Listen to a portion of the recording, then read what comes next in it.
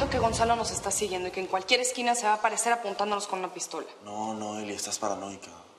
¿Paranoica? ¿Qué otra explicación puede haber para que no se deje ver ni por ti que eres su mejor amigo, ni por mí que todavía cree que soy su novia? No se lo puede haber tragado la tierra así nada más porque Eli, sí. a Gonzalo lo está buscando toda la policía. No me sorprendería que se haya ido del país. No, no lo creo. ¿Y si nos descubrió y nada más está esperando el momento oportuno? No, no, no, Gonzalo no es de eso. Si nos hubiera visto, ya hubiera aparecido para insultarnos, amenazarnos y... El día que eso pase voy a tener que enfrentarlo y decirle la verdad. Hola, Leo. Hola. Hija, tu papá está arreglando todo para que en unos días nos vayamos a las Bahamas, en la avioneta. ¿Se van el fin de semana?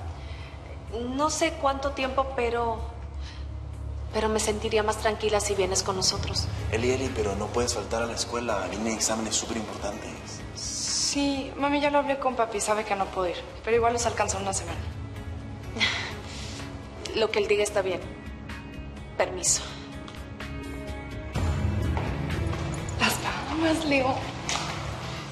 Vente con nosotros. Así podemos relajarnos y no preocuparnos de la amenaza de Gonzalo. O sea que tú prefieres irte con tus papás a las Bahamas que quedarte aquí conmigo y aprovechar la casa que está sola.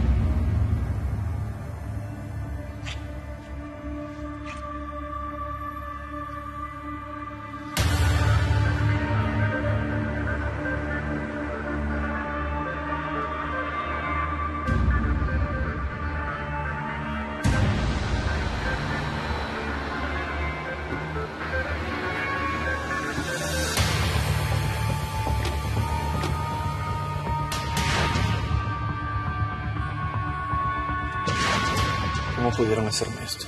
Son unos traidores, pero me la van a pagar. ¿Qué dices? ¿Me estás diciendo que si no firmo me mata? Esto es una amenaza, Víctor.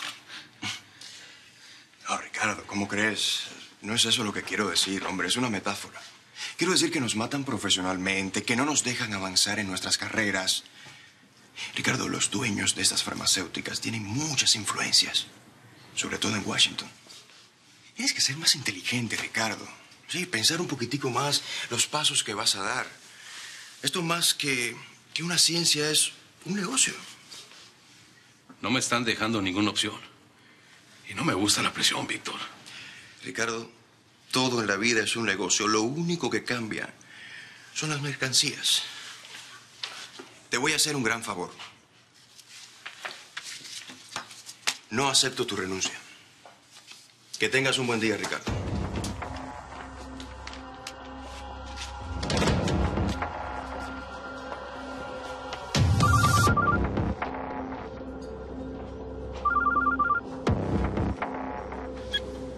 García. Encontraron a un tipo de la calle por el downtown que asegura que Gonzalo Mendoza le robó una comida. Si eso es cierto, debe estar deambulando por los lados del puerto. ¿Qué quieres que haga? Nada. Déjalo. Déjalo que ande a sus anchas. Él solo va a acabar con Andrés. Escúchame. Ahora es otra piedra la que me molesta en mis zapatos, sí. Es Ricardo Gómez, el químico que trabaja para nosotros. El pobre ya está muerto. Lo que nadie se lo ha dicho todavía.